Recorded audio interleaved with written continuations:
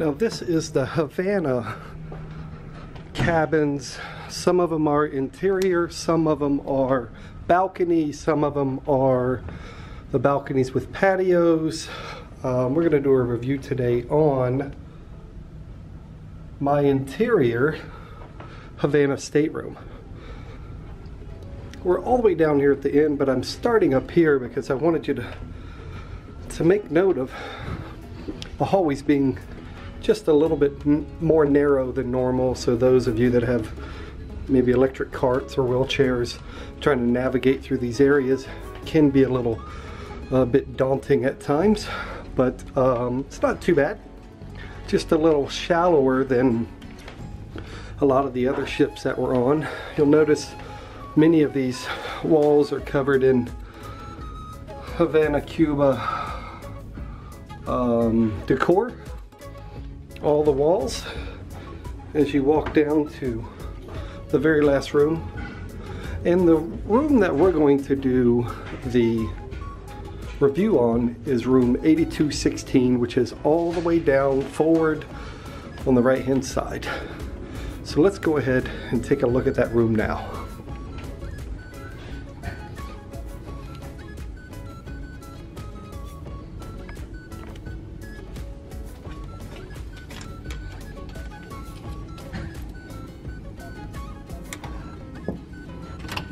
Now as you enter the room, they've just cleaned up for the day, but take a look at the room.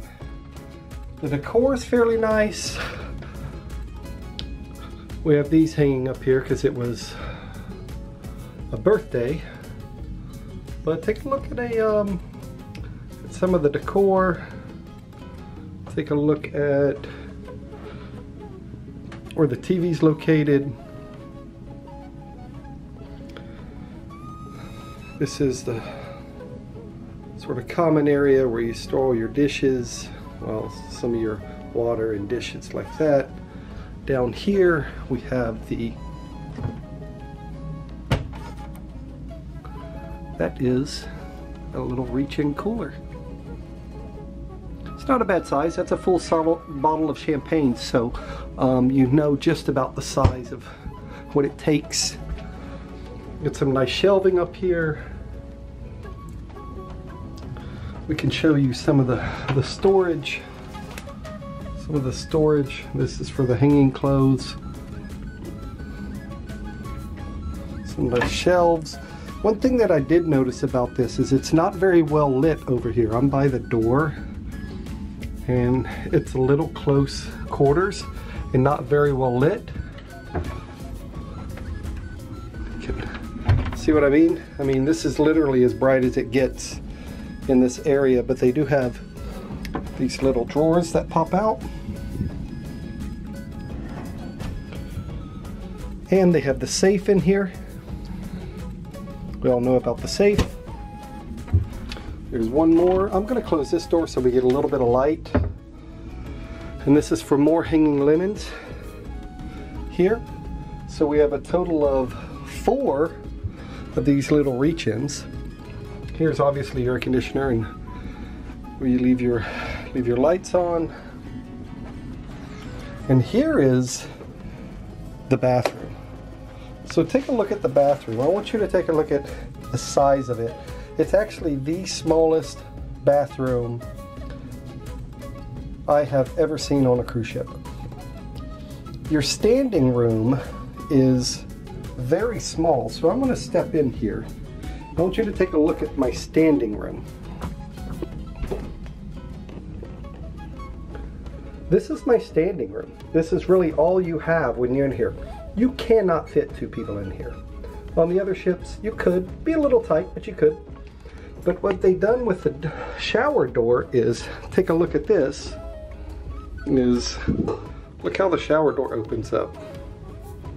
Opens up towards you. It's actually a pretty nice shower. Here, nice shower head. Um, and let me switch it around here. And these are some of the shelves that they have. And this is really it. I mean, there's some shelving down here as well. But there is not very much in the way of storage in here. Let's go back out here. So we have ours set up in a twin setting. Uh, the bed's pretty nice. Um, I always ask for extra pillows. We have um, two full-size beds. They're pretty comfortable. Um, one thing I did want to show you is pretty neat. Right up here at the headboard, look at this. This is new to Carnival ships. Let's see if I can figure out how to get it.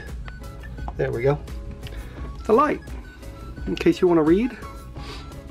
Not only a light, but look at this.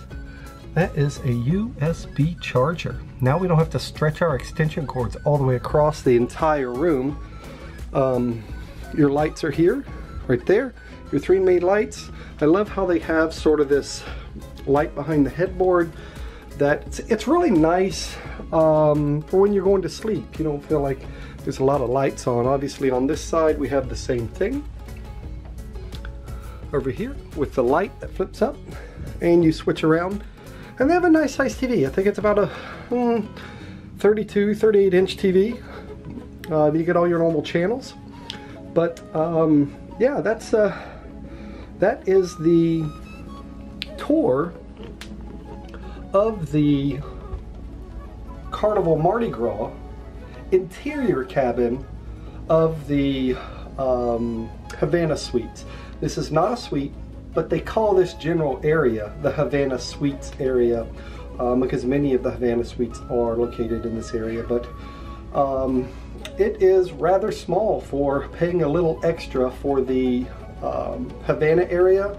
We didn't find a lot of benefits for being in the Havana area. Obviously, we get our little bracelets here that will allow us to go into the private pool, but the private pool doesn't really have a hot tub and the pool's cold.